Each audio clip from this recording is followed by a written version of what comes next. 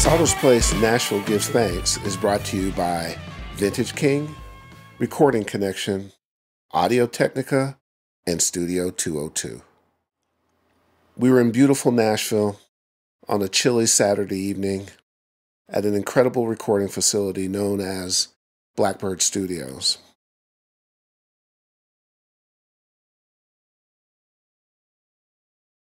Gathered were 18 of country music's best and brightest.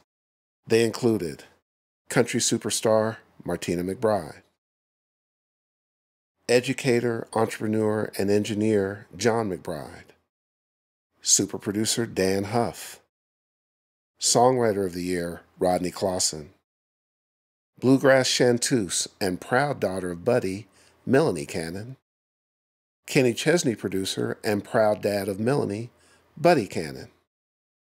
Front of House Live and brilliant thinker Brett Scoop Blanden. Mixer extraordinaire Justin Niebank. Producer and proprietor of Legends Studio, Dan Frizsell.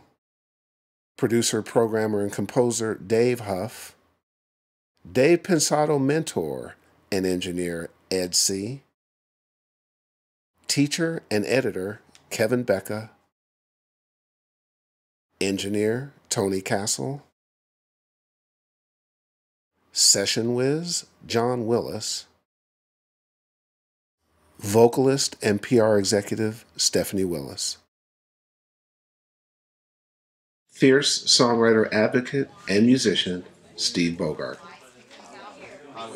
Our Thanksgiving meal was prepared by one of Nashville's premier eateries, Flyte World Dining and Wine, and presented and prepared by Chef Matt Lackey.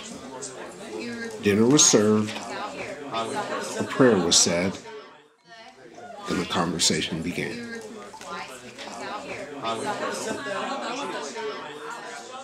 Um, happy Thanksgiving to everyone out there. It's great to see you. We are in for a very special treat. It's certainly been a treat for all of us at Pensado's Place, and we wanted to bring this treat to you. Um, from one email, a ton of work, a bunch of super caring and giving individuals.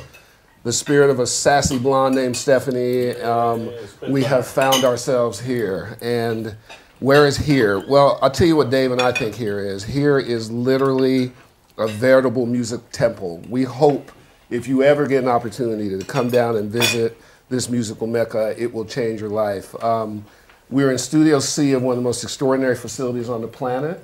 Um, we're at it's, it's the most extraordinary. probably so. No, no uh, PC here. We are at John and Martina McBride's Blackbird Studio in Nashville, Tennessee, and it is extraordinary. When you say, sir? Man, I'm telling you what. Yes. Yeah, it's just that simple. yeah. There's not much else to say. Um, as you can tell, we're enjoying Thanksgiving dinner. Um, it's served from Flyte's World Dining, Flyte World Dining and Wine. This is literally one of Nashville's premier restaurants. The chef, Chef Matt Lackey, um, he's been nominated for a bunch of awards for Best New Chef. He is one of 15 young guns to watch. Um, I'm a little upset because while I'm talking, everybody else is eating, and I don't have an option out. so if, if, we edit and just go to black, that's because I'm going to eat, and I'll be back to you. Um, he's personally prepared this meal, and we're really honored. Thank you, Flyte. Thank you, Chef Matt. Um, we have an incredible panel put together. Why don't here's let me just pose this question as we've been here and as we watch it and all that kind of stuff, and I have a weird background that I was born in Montreal but grew up in Kentucky. So I was around bluegrass and I hung out and so so forth. And I've always loved the passion that's here.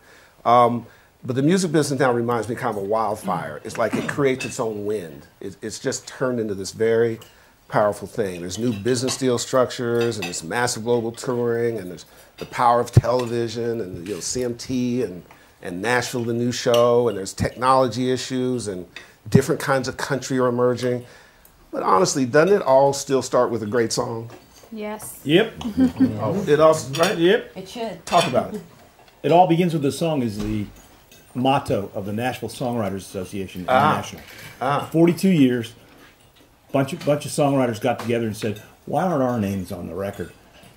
And they started, they found a, a, motto, it all begins with a song, and we've changed the U.S. tax code. We've changed a lot of things. so that, that comes out of Nashville. It all begins with a song. I think that's true. Rodney, you feel that way? Yes, I did. Thank you for that effusive answer. no, no, I'm trying to eat. That's why I need him to talk more so I can get some turkey. Just, uh, just give me a signal, and John and I'll carry this thing all the way home by ourselves. you are in my fallback position, my safety net. Oh, John's going for food. I might no, not not have yet. for a minute. So, so John Willis, let me ask you this: as a session guy, can you tell the difference when you're playing on a like a really great song and a song that's just okay? This, can you feel that? Oh, yeah. It's Yeah. like it plays itself. Yeah, yeah. I, I used to tell my staff that you never had to really think about a hit. Like a hit will just jump out and grab your soul and just shake you. Then if you start debating afterwards, it's sort of good, it's kind of good. If it does this, it'll be good. It may turn into a hit, but it's not a hit there. You agree, Melonie? Oh, I do. I do. I think people spend a lot of uh, extra money they don't have to in the studios. You know, they spend too much time doing and redoing when they should go in. John knows when the magic happens, it happens and it's instant. You know, and sometimes you don't have that you know luxury to only do it once with musicians like John and others like him. But Justin, from uh, from we're, we're the we're the top dogs in the room, Justin. You know that. from your perspective,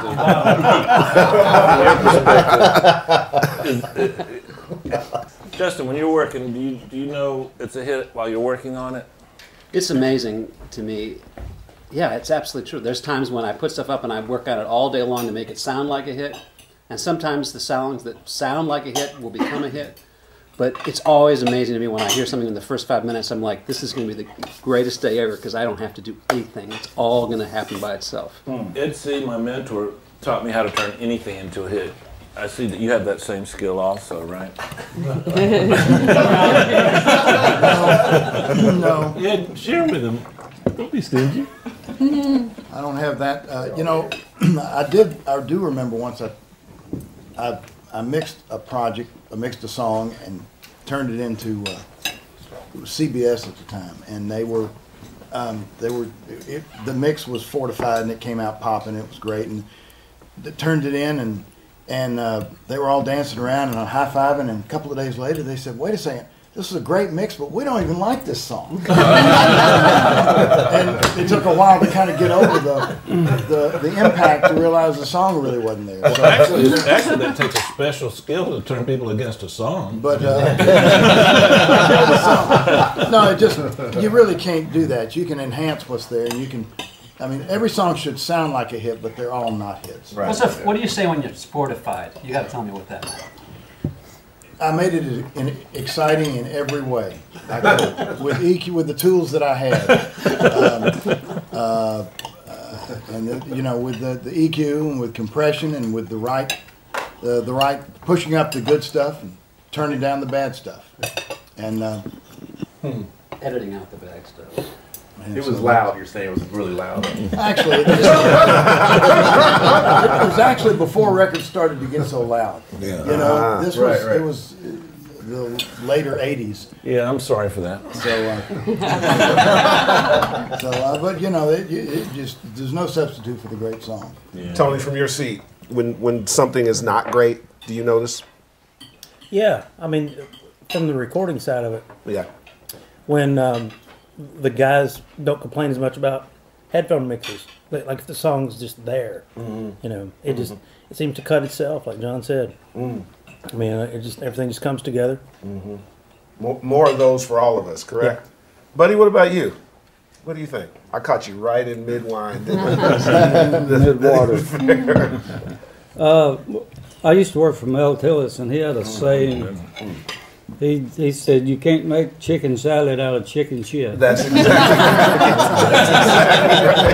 and happy Thanksgiving. and that Welcome to my house. now I want to check and see what I have on my plate. Just to make sure. And, you know, I mean, so I listen to a lot of songs, and sometimes after days and days of hearing what sounds like the same song over and over, I, I start doubting myself. Mm-hmm. Can I just not hear? You know, mm-hmm. and then all all at once I'll I'll play one, and it'll be something magic. You know, and Jumps out at you. yeah, it Jumps out out, and you just take a deep breath and say, "Okay, I'm not nuts." and, and, you know, From a, from a, from an artist perspective, Martina, and, and, you know, as I'm, there's probably how does the process work with you? Are are there people sort of you know vetting these songs before they get to you, and then they try to give you the best ones? Are you the final arbiter of the choice of what you do? How's, is that how it works? Yeah, I definitely choose my own songs, and I listen to hundreds and hundreds and hundreds of songs. And and like everybody has said here, the ones that are right just stand out from the Mhm. rest. You Mhm. know, um, and they just they just stand out and make you feel something. Yeah. Yeah. And you kind of, I find that, you know, as a manager, you just wait for that. Like if it doesn't there, I can't substitute it. I don't want to. And sometimes you got deadlines and pressures and all that kind of stuff, but you just really have to wait till till it's till it's right. Otherwise, you know you're making a mistake. Yeah. Right. Yeah, and I've always found that most of the songs that I've recorded, ninety nine point nine percent, I I immediately hear it. I don't ever have to live with the song.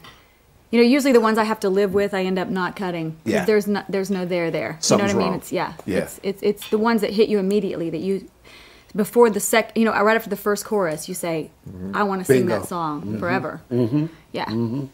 Interesting.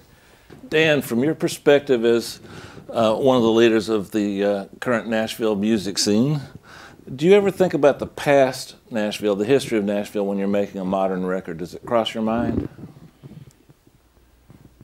No. Really? and, and, oh, and, and no, I mean, I don't, I don't mean that uh, disrespectfully or anything. I, I mean, you know, we grew up here, It- it- so I mean, so it's in you your know, DNA. Yeah, I mean, you know, certainly here since we, I think we moved, our family moved here at, at the end of the '60s Mhm. or, or '70s, something like the beginning of '70s. Mhm. And so, you know, obviously we were introduced because our father is a musician, Yeah. and and we were introduced to the recording community. Um, very different back then than it was now. As a matter of fact, i i- back then it wasn't it wasn't real. Uh, shall we say warm and fuzzy to to young talent, mm-hmm. and so it, it kind of pushed. I mean, I won't speak for Dave, but I- but it, it I, I felt like I had to go somewhere else to kind of uh, get in, and then we moved back here, mm-hmm. aware of, of the heritage, the great heritage of the place. But you know, it's morphed and changed, and it continues to morph and change. So you know, uh, just a healthy respect. Yeah. You said that uh, in the past they weren't warm and fuzzy to the young talent. That young talent is now the old talent. Yeah, Are, are and those I guys hate young warm and talent fuzzy to the new 100%. guys? Yeah. Oh, Dan, are those guys fuzzy now Yeah, and yeah. warm to the new guys? Hey, there, there's there's stuff for the young kids to keep them warm and fuzzy. Like, there's there's enough influence in it now. I just hope they're warm and fuzzy towards us old guys. no You're not the old guy, my friend. certain empathy for it because you know if you you know again not a victim complex but but it was it wasn't like the west coast that was it th- thrived at that in the, on the early 80s it was thriving on young talent. Mm-hmm. Nashville is kind of like you earn your stripes kid and you know we'll talk to you in 10 years. Mm-hmm. This this community is so thriving and, and, and so alive with so many different dimensions of music. Um, hopefully we learn the lessons you know from from our past. So from from your chair, are- you're you, you're constantly dealing with the kind of where a band is tracking and you're producing that, as well as sometimes there's programming elements and other kinds of things. Are you mm-hmm. you, you have to be available and are ready for any way it, it goes? Correct. Absolutely, yeah. I mean, it, it- this is this is this is now a, a viable music melting pot Absolutely. in the world, and and yeah, I mean, certainly at least aware, and at least to know who to call. I mean, for me, luckily, my my my brother will will work with me uh, in the areas that I'm not adept at. So, and you know, but yeah, you have to be very aware of all everything. Yeah. Speaking of your brother, uh, Dave and I have this discussion all the time. Is it possible to make a Nashville record, a, a, a great country record in L.A.? Not you don't get to. I, I, I get to set yeah, the I would- rules. I don't would- get to import musicians. See, I, I can answer it first while you think about Go that. ahead, yeah, I, that's it. I, I've said no. I know I've you said, said no, no. many times because, because I think the it's it's not a slam on players. There's amazing players in LA too. I work in LA all the time, mm-hmm. but there is a uniqueness about about the synergy of, of people playing in the same room at the same time in Nashville that's unlike. I travel all over the place. And I, I don't find it anywhere else but Nashville. Yeah. it's a very unique music community, mm-hmm. you know, and and you, you can put there, there there's so many great players, you know, five six players deep on each instrument, and you can you can mash them up on different projects, and and it's always the same result. I mean, they play together like no, no nowhere else. I liken it to a sports team analogy. That chemistry, Yeah. when it's working, you can't just stick other things in and keep that chemistry. Yeah. Is that is that fair? Exact. To me, it's very, very. Yeah. Yeah, the, the syst- I think I think I, I I wanted to say no. I mean I mean see yes, Mhm. but I understand what Dave's saying, and, and maybe I maybe if I can use the sports analogies, it, it maybe it's maybe Nashville is is is Bill Belichick. Uh-huh. Because certainly all of all, you know all the components are not from here. We're some of the only people I know from here. Yeah. So it's it's not being bred in Nashville, but there is the system. Maybe Yeah. that's maybe that's the coach, and and and we bring all these parts here, and it, it, it we're able to do this type of thing. and I don't think that that system exists anyplace else. I mean, as I Mhm. try to research and preparing for this, I just that's one of the defining factors about this community, amongst others, that is really unique to it, and then to the music. It's just it's, well, I, I, it's I, get, I was just telling Dave, there's there's energy here in Nashville musically. When you get off the plane, you can feel it. I travel and work in so many different markets, and this is very unique here. I mean, all of them are great. This is just very, very unique in that sense, Mhm. player wise. It's, it's you know, it's a little bit more disjointed. It's a little bit more single player overdubbing in LA. That's Yeah. it's more that than than here. It's more everybody together and really gelling together, and it brings unique people play off each other Mhm. here, and it's unique. This was really too. I, I think I think this this town kind of earned its stripes, the honest way. I mean, it was really when when I was growing up, it, we always felt kind of second fiddle to to the coasts. Yeah. plural, you know. And uh, I guess it went to the '90s where all of a sudden there was this great infusion of success, a lot, a lot of money that came through town. Yeah. And and then after you know after that kind of leveled out, it, it, became a place where where you know you uh, serious music has been. It's not just success and, and money. Yeah. But but certainly more musicians, engineers, and producers have migrated here, and now it's it's it's it's kind of it's it's the next coast is what it is. Can I, yeah. can I tell you what I think I personally have noticed, and I, would- Dave and I have, have talked about, um, as of this taping and this airing, we spent three days here preparing for this.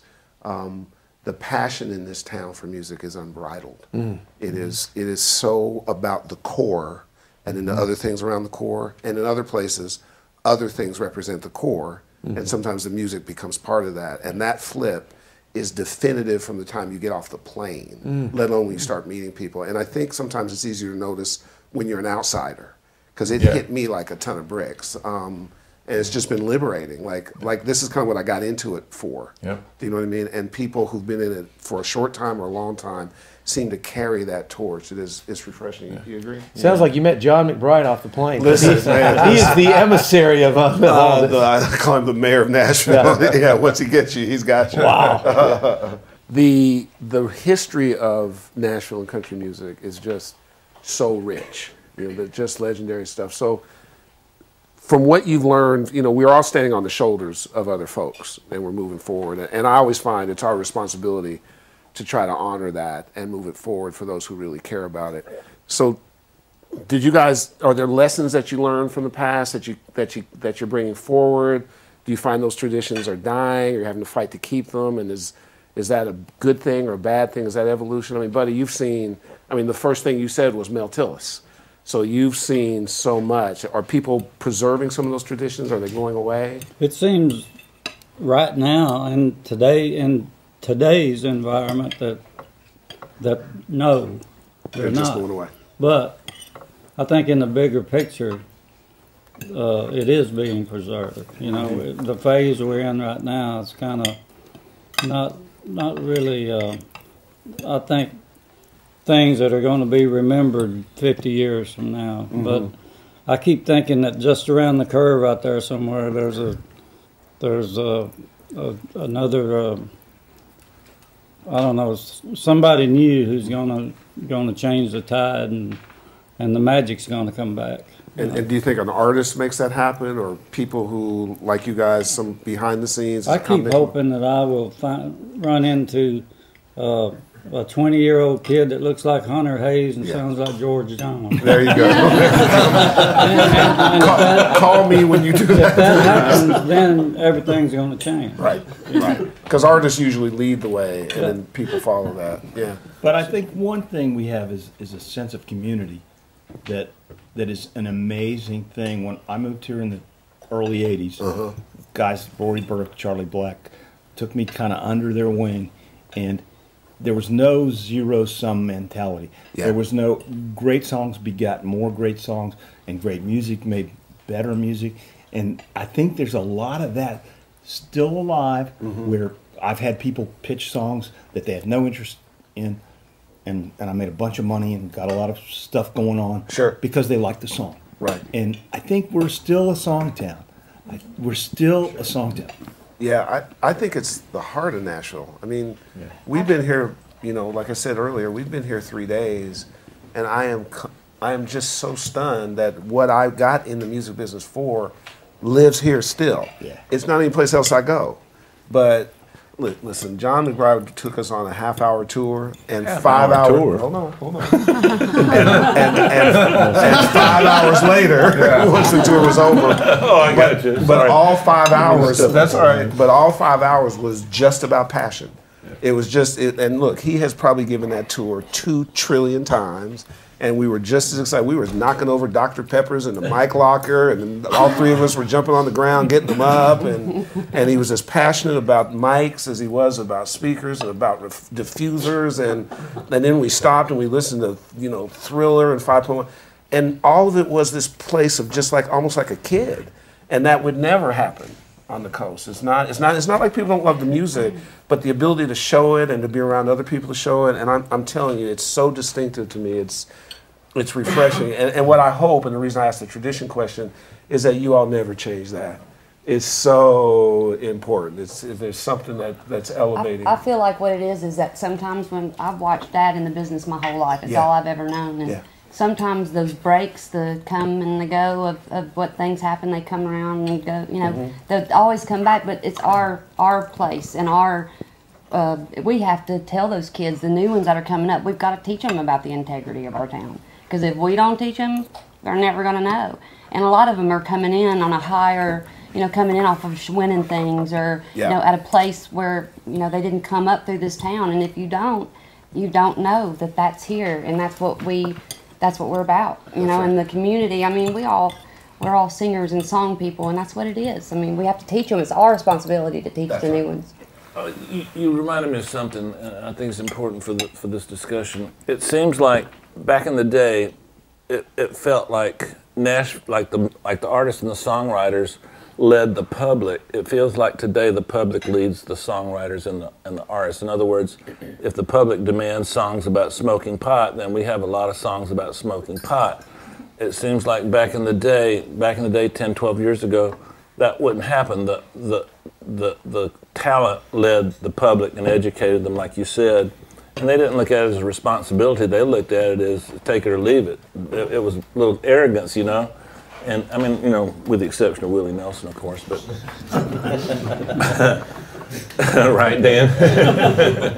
He's not human. And- and- and how do we how do we reverse that? You know what I'm saying? If the public demands something, there's going to be a lot of people that are going to make money by fulfilling that demand. Uh, it it happens in, all across culture, television, cars, whatever. You know what I'm saying? How do we mm-hmm. how do we subvert that? How do we change that? And should we?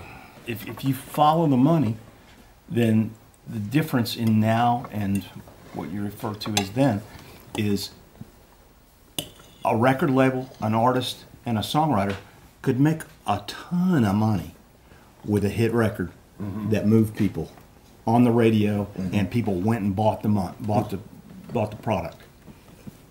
Now it's not about that. It's about moving live audiences. It's about it's about creating excitement on stage. It's about some digital stuff that maybe we'll get into later. Mm-hmm. But, let's about but it's a whole different it's a whole different paradigm now. So that so that the, commerce is going to create what commerce creates.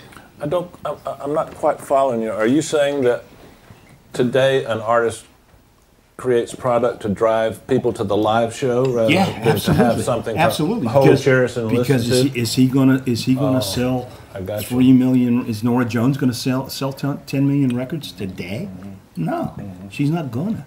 She's got to fill seats. Her label's got to fill seats. They give the song away.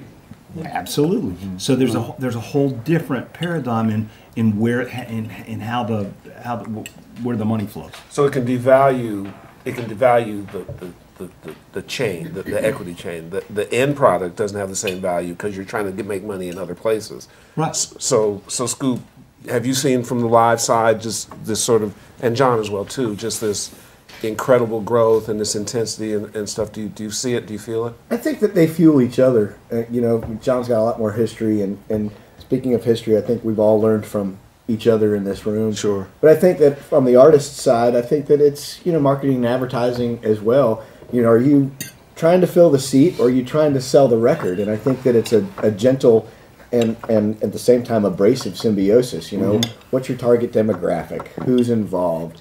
You know, what's It's your so stage? clinical. You know, where are you do clinical. where are you doing your shows? Yeah. You know, is it summertime and outdoor amphitheaters, or are you doing a really intimate thing in performing arts centers? They're all different. You know, it's an advertising thing as well, but it still is about the song. You know, um, and and I think the song it comes back to who you're selling the song to, and the larger your demographic, be it a live audience, you know, are, are you the season ticket holder in a in a performing arts center? Are you the summer country music fan in Wisconsin that has one month to get out of the house, Right. And they want to go hear every song that's on the radio that they're cooped up with all year, Right. You know, at that point, man, it's more about music to those people. Mm-hmm. I think often than your season ticket, you know, performing arts center crowd. Mm-hmm. Totally different intimacy factor, but the song still matters. Once once the cat get, gets out of the bag, can we put it back? I mean, is th- this is bigger than just Nashville. It's a cultural shift. It's a paradigm shift. It's it, it has connections to a, a rapid pace in our society and culture. It's tied into the internet. It's tied into the readily available mass consumption of media that can just burn up something so fast. Is it something that that that, that we can change? I mean, I think we can continue to inspire. I think Martina's done a great job inspiring the youth, the next generation. You know, believing in America and family, the, the quality things. Is society going to follow suit? That's a good question. I don't think that that's any of our problem, but con- our contribution, opportunity, and, and maybe responsibility, absolutely. And- and- investing in the kids with John's new school, absolutely, absolutely. Pay it forward. We were talking about Owen Bradley earlier, and Mhm. one of the founders and, and you know recording fathers in Nashville. And when you guys were talking about a song earlier, I remember standing there with Owen a couple weeks before he died. He was playing me Mandy Barnett, Wow. and he and we were sitting in his room and on DAT, and he goes, "I don't know what, why I like it. It just feels good." And that was it. That's all it needed to Next be. song, Owen just goes, you know, waddling around his way. Yeah. But man, we've all just said that. Yeah, yeah, absolutely. To Melonie's point, you know, um, Martina, I think that, don't you think that we all have to sort of be concerned about, we have to mentor the youth in order for them to know where to go. Do you, do you feel that way? I, I definitely agree with that. Yeah, especially, you know, with some places special as Nashville and the, something that is as as um, special as, as our heritage and our history and country music. It's Yeah. really important that we that we pass that along and that we Mhm. honor it. And um, you know, mentoring is is so important. It's it doesn't. I don't know that it gets done as often as it should, and I Mhm. think there's a lot of reasons for that. I think it's, you know, speaking from you know just from my own perspective, as a young artist, it's hard to walk up to your idol or to someone that you really look up to and feel even worthy to. To ask a question? You know, it's a little awkward. It, I've always felt, uh, um, and I know a lot of artists do. And then, you know, what do you say to someone? Say people say, "What's your advice?" Right. It's like you know, I always say, "Be true to yourself," but that's that's really true. But it's not easy for everybody to do, Mhm. and everybody's situation is different. Mhm. So there's no handbook that you can hand over and say, if you do these things, This it's all going to be okay. Right, right. So it's it's difficult mentoring, but I think it's really important. I do believe it, and um, Yeah. yeah. They need to know that the Grand Ole Opry means something. You know, it's Yeah, not just a place to stand. You know, I mean, right. Yeah. that circle is life and breath to our Mhm. industry, That's and right. so many just cross that that stage and don't ever breathe that second in. And I mean, it just it's it's everything to what we do. So Kevin, you, you see hope? I mean, you're at this Yeah, incredible. you know, what's you know, there's no guarantee for anybody. Mhm. But if you display the way that you should operate, Mhm. even as a person, you know, Mhm. and, and, attitude is 99% of the gigs motto we have, and that you know, get that point across, and then show them the incredible ways you can record with all the gear that's been making records here for the last 10 years. you Yeah. know? So that kind of thing is really strong and we're changing lives with it, you know? And Yeah. it's, it's a great way to, to really, like you said, pay it forward and also just carry the legacy through, you know, because what's happened is now that anybody can go and buy a studio uh, out of a box, Yeah. the, the, the legacy of the, the skills has been lost. Yeah. You know, so what we're trying to do is get back into the groove with that. And it's been only been a short time since that's been available, you know. So, you know, when you build it, in, when I came up, you had to go to a studio, Mhm. you know, and then kind of the ADAT thing chipped away at that, and then you go through time and, and technology changes in any industry. And the way it's worked for us is now that we've, we've come around, I think we've turned a corner because I think we're right on the edge of what needs to happen. And we're Mhm. seeing a lot of traction from larger universities that are coming to us and saying, look, you know, we know what you're doing is incredible and we want to be a part of it. So. And, and we've we've had for whatever it's worth, and maybe this is for hope reasons. We've had the same, same experience with the show. We're here because of that. I mean, you know, when we came with this idea, could I have ever said, "Uh, you know, give me like a couple months, we'll be, you know, we'll be down with John and Martina McBride, and we'll be hanging out with all the legends, and you know, just like we can Couldn't do. never believe And and what we're finding is that kids are not only and not just kids. Number one, learners, Mhm. and those go from 18 to 50. Even those who don't have a shot at professionally. But the thing that has blown me away the most, and Dave, I think, is how inspired they are. It's not like I just want to go make money. It's like this means the world to me, and this information means the world to me, and I'll, I'll move because you said so, or I'll try to do better because you said so. And I think there's some notion out there, something feels like it's moving, but but it but it's important, and what you guys are doing is so important, and all those who care about it, is you got to give it to them right, because we don't know who's giving it to them wrong. Well, we do know some, but we do know some. That's that's just that's just the truth. Um, we've all seen it from our different positions, but it seems like when you give it to them correct, you get somebody who's just ready to go after it in the way we did when we came up and do it for the right reasons. Is that what you guys experienced?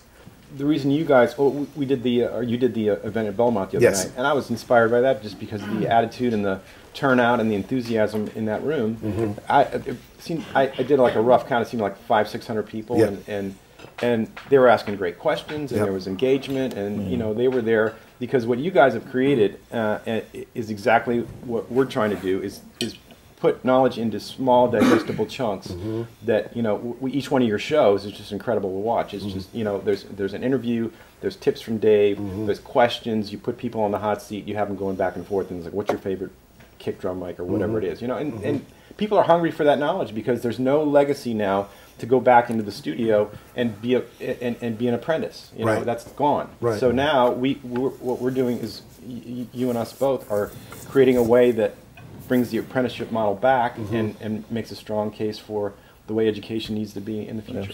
So, so I- I have oh, a go Sure. I have a que- Are you going to eat that? Welcome to Dave Pensado. Please go ahead. Absolutely. So, so here, so this is sort of interesting. This is an example of where technology is a good thing, but sometimes technology is not a good thing. So, you know, digital in this community and lots of communities, there's a mixed bag to that. So, digital downloads, how's that in Nashville and country world? Steve, you want to- Fire it up. Fire it up. First of all, the the two copyright system in America is broken. Okay. There's a there's a, a 1909 copyright for the sound reco- for the underlying work, writers and publishers, Mhm. and there's a 1978 copyright for the sound recording. They're both important. In the in the world of sync, it's all fair because because we both operate on uh, the basis of of of free market. We operate. It's 50-50. We get a we get a a McGraw cut in a movie, record label and Tim get 50 grand. All the writers and the and the publishers get 50 grand. Mhm. Makes total sense. Mhm.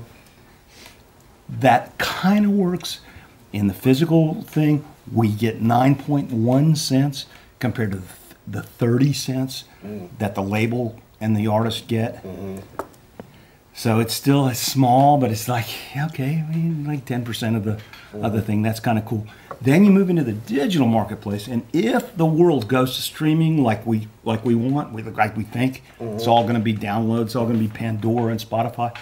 That's fourteen to one, seventeen to one sound recording to underlying work. Wow. That's because everything in in the in the songwriter copyright, everything is under the thumb of the government. Uh-huh. Everything is under the Copyright Royalty Board. I testified. I was the lead witness. Mm-hmm. It's under the Copyright Royalty Board. It's under rate courts. BMI and ASCAP are viewed as monopolistic entities. Mm. So what our copyright system doesn't work for the music distribution system that we have. So what we need to do is is change it and make it like many other countries in the world where hey, it's it's great that you make a great record out of the words and music, but the words and music deserve like kind of the same. That's kind of the the common wisdom that that people would think. Well, you know, I wrote "Carrying Your Love with Me," and it sounded great. Our demo sounded great, and then George made a great record on it, and so we should split that. Mm-hmm. That makes total sense. Mm-hmm.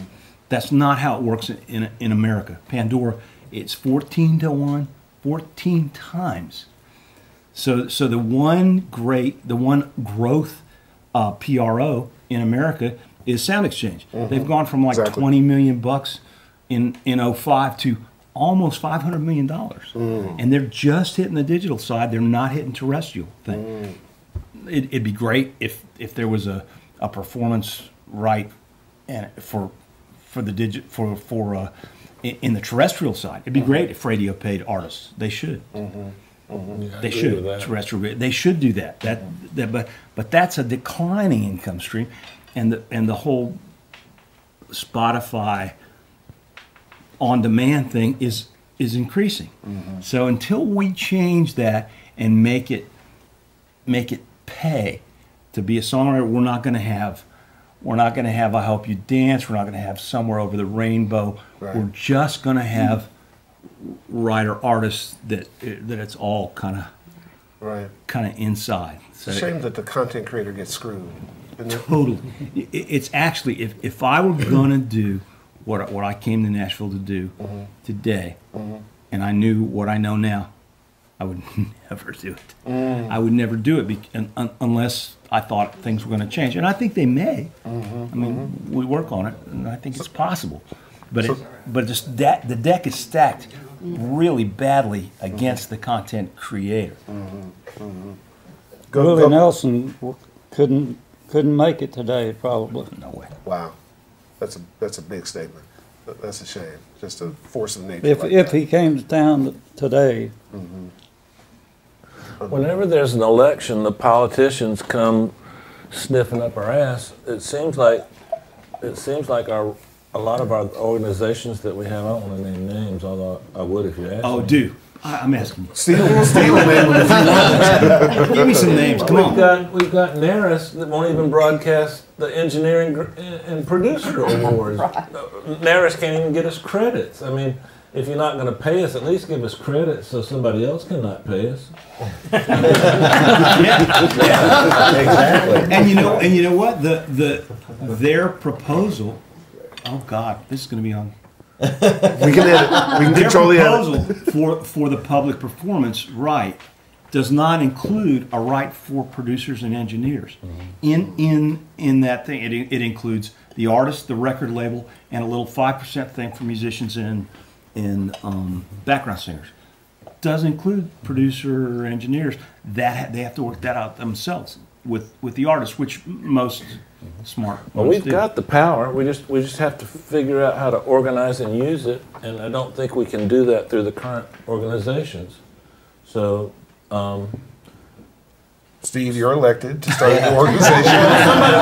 This is how I got to be a Cub Scout leader. It's 14 to 1. the foundation of what everything we're saying today is is we're we're really proud and the and we really support the tightness of this community. And this this kind of movement couldn't start in LA. It couldn't start in New York, but it could start in Nashville because it's a tight community and, and, and everybody in this room knows everybody else. I, I, I- don't have that happen when I'm in Los Angeles. I have to introduce half of the people to half the people. And um, I don't want to turn this, this day into a, a political thing, but uh, I will. Um, it just, it, it, if you get angry, it, it gets me angry too. You know? And I'm not even a songwriter, but without you guys, uh, the whole chain dries up. sure.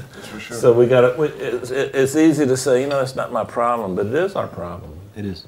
So, so go. We're to not going to solve it today, but you know. Well, you might. I got a little time left. Let me, let me pick up some facts. Go the other side of the equation. Plugins. Good, bad, evil, not. What's the thought? They're coming along. They're coming along. There's improvements. Okay. There's new things to believe in. I got a question. I, I keep hearing that, and I'm, I'm not being a smartass for a second. I keep hearing that plugins take jobs away from from people. Explain that to me. Uh, How do they do that? We got some friends in the building. I'm not saying they don't. I'm that just have jobs because of plugins. Say it again. That's however you Accidental. want to look at it. You know, um, gain stage and how, how you get in and out of it is just as important now as it's ever been, if not more. And busing and, But how does that take jobs away from people?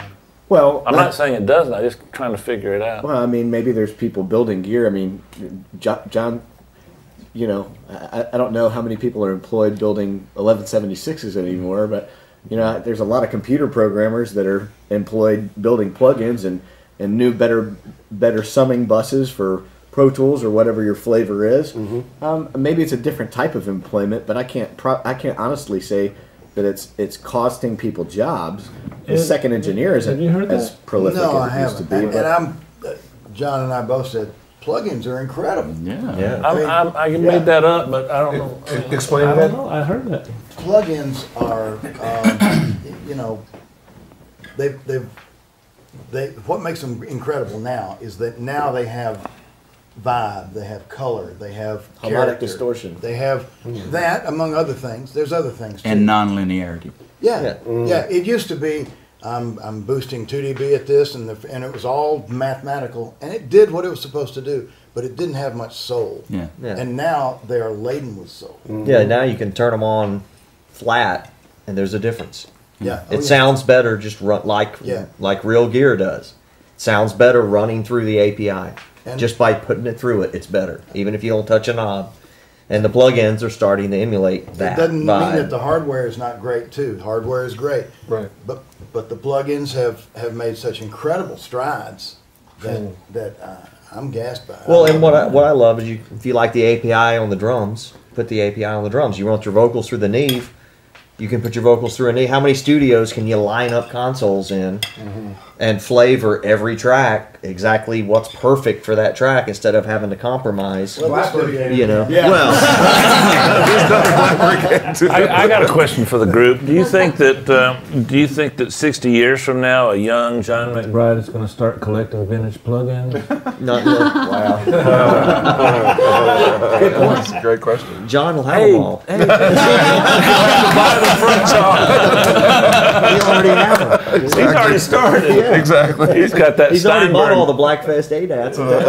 he's, he's got that Steinberg plug-in stashed away somewhere. So then the, the juxtaposition of legends and how, Yeah. and you've done just such a great job of keeping that authenticity and that history, but you're combining it with technology in such a way so that you have that accessibility and, Yeah. and that flexibility. Is that correct? Right, right. Well, and part necessity Yeah. too. You Yeah, know, you there's make a a. limit. The reality is, if I spend five hundred grand on a console, Mm-hmm. How many more days a year am I going to book? Yeah. And how much is my day rate going to change? Yeah. Yeah. The reality is, not. E- I can't even cover the difference in the electric bill. Yeah. Is the reality because when you're booked twenty five days a month anyway. Mm-hmm. It's not like you're going to book more days. You're just going to have to try to get your clients that you already have to pay more money. Mm-hmm. Believe me, No. it would be. Steve's like, no, I'm not Hey. John, um, when I first moved to LA about 20 years ago, there was a big, big movement to stop the home studios. Uh, Larrabee, Conway, a lot of the big studios, record plant, got together and they got some government legislation passed to, to not to have home studios because they felt it infringed on, on their on their profit because the home studio didn't have to pay taxes, didn't have to pay overhead, could get by with all the expenses that a place like this must be massive, the overhead. Do you think that the plug-in situation and the ability to take and use these plugins in a smaller environment and compete with Blackbird, do you see that as a threat to, to Blackbird? In other Not words, really, because I think that Nashville is one of the last bastions of places where the band shows up together Mhm. with the artist Yeah. and a producer and Mm-hmm. an engineer, and great music is made together at the same Yeah. time. Yeah, for sure. And you can't recreate that environment or that situation in your bedroom. Gotcha. Um, I, I feel like the quality of the players we have here, it's incredible. Uh, mo- I, I, I won't say that there aren't some great projects that were made at home, but I think the chances of having success are much, much higher when you come into a studio and have that environment to help, uh, And tradition. help you make your magic, you know? hmm Quincy Jones told me one day he, he called the studio church, and you couldn't have church at home. Yeah. You had to go to church, mm-hmm. and I just said, "Ooh." I And it's was- kind of funny just because blessed by the there's, a lot of home studios, a lot of home studios. Yeah. But guys, there's about a two-year window there mm-hmm. where they've worked at home for about a year and a half, two years. The kids keep coming in and bothering them, or the mm-hmm. phone's ringing, or the wife's pissed off mm-hmm. because I don't need this guy parking in our grass, and mm-hmm. they're leaking oil, and now they mm-hmm. drink our beer, and you know. And the guy goes, you know what? I need to leave the house to go to work. Let me go to the studio. Or vice versa. It could be the woman Yeah, doing yeah. it, but you know what I mean. Yeah, absolutely, absolutely. I think that working at home, it's nice to have that separation. I'm gonna change the subject just to hear. I'm not an activist. I'm not. I'm not any of those kinds of things. I, I just have too big a temper and just want to blow things up instead of make changes the traditional ways. That, that that's not a healthy. But I have a daughter, and I have I have a, I have a young daughter, 21 years old, and she's in culinary, which is a male-dominated industry, and so I. I I started thinking about our industry in terms of young daughters. What can we do to get more women involved in, in, in the process? What can Why we would we do? do that to them? Huh? Why would we do that? Too smart for that, Dave. That's a Why would huge we sentence. curse Well, the with reason, I know you tease, this I know you business? teasing, but the reason we do it is because we truly love this. Everyone in here is passionate about it, and I think it's it's not a it's not necessarily something we need to leave here and and go make signs in march. But I think when we have an opportunity, I think we ought to to bring more women in. I think it would actually help the industry because um, women do that. They make things better, and I think we should at least give a little thought to that. If we don't want to discuss it today, Well, uh, let's, we let's don't get have Stephanie to. and Melonie's take on that. What, do you- Steph? What do you think? Well, the really interesting thing when we were when Herb and I were working to put this this group together for tonight, it was really hard finding females, especially in the engineering production um, side of things. Of course, artists and songwriters, but I I'm a former artist myself, and it was just really shocking for me to be on this quest looking for females and not being able to find a lot. Yeah. I mean, I wasn't, I really wasn't aware of it prior. The future is bright. Blackbird had four women there. Remember Yes. her? And And, they they were sharp as a tack. we had that was specific really, conversation with them, and And they were enthusiastic too. They, yeah. Melonie, what's your take? I think that um, I've, I've never worried much about it being a male or female thing, even though it is. It's definitely a more in a male, a man's world for sure. You Mhm. know that as long as you've done it too. And uh, I, I just feel like I don't mind as long as you're really great at what you do. But there's some really great women in this town. I know them. Well, I nobody know 'em excludes them. Nobody excludes women intentionally. They're just not drawn to the profession because of. Well, there's and there'll be some- seconds looked at too. Really, I mean, we try not to live in that world, but we still do. I mean, you know, if a Yeah. woman, there's a guy, you know, a guy and a girl standing up there for the position in this industry right now, it still seems that it will, you know, the man will get it just because that's the way it's been.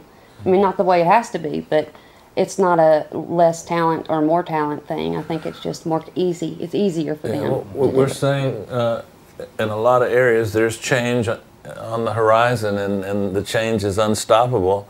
Uh, let's make not all. Let's let's don't make all the change bad. Let's make some of the change good. You know. Steve, what were you What's amazing is that is that uh, I was riding in a cab in D.C. with with a the guy that runs SunTrust, and he was looking for female um, movers, shaker, music business people, Mhm. like right now, to be on the board of, of SunTrust. Mhm. And thinking about like five, ten years ago, what's what's strange is we had Donna Hilley, Mm. we had Connie Bradley. Mm-hmm.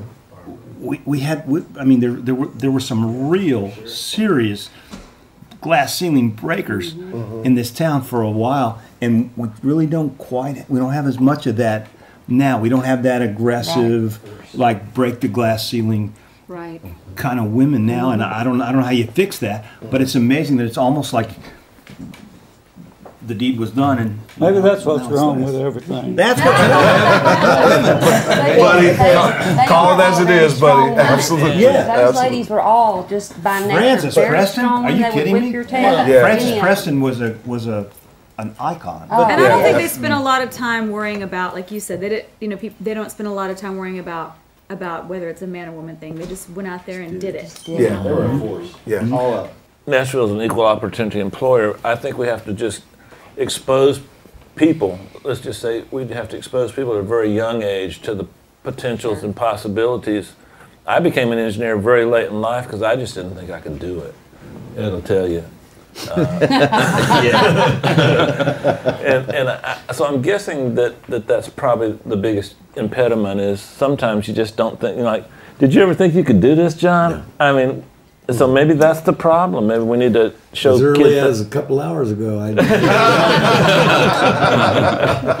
well, yeah, Martina told me that, but I didn't share that with you. I'm going to tell let's- you, I'm a big. I am being beside involved with Martina's career for the Yep. last 22 years, whatever it's been. I see how women don't get treated fairly, Mm-hmm. and man, I am all about women having power. I have three daughters. Me all too, right? brother. Me too. And I just thought that was my karma. But you know what? Women, growing up, every night at the dinner table, boys are dumb and girls are smart. Just remember this, girls. Mm-hmm. Now, boys get smart after they've been married a while and the wife trains them. That's how it is in our down house. the road. But they don't. Those girls, our girls, know they can be the president of the United States That's if that's what they want to be. That's right. Yeah. And I am all about women having because I think women are smarter than men in general, Mm. and they don't they don't make decisions for the wrong reasons sometimes. Mm-hmm. And Well- I, I just think it should be. I'm agree. so glad we have girls in our uh, as girl students. We know, are, at the uh, Blackbird Academy because we need more women engineers. Well, I promise you. Well, I, can tell you that you got a you got a partner in that endeavor because from the day we started the show, that was an important space for me personally for lots of different reasons, and we're encouraged in that we see in our emails and stuff a lot of women who want to be there, a lot of women who travel to the events we do. We see them enrolled in schools, and they're ready to compete. They're not looking for any concessions. They just want to get the opportunity to do their thing. And when we and we've had f- female engineers on and producers and so on and so forth, mm. and they can go toe to toe. They can do what they need to do. We're talking about Leslie.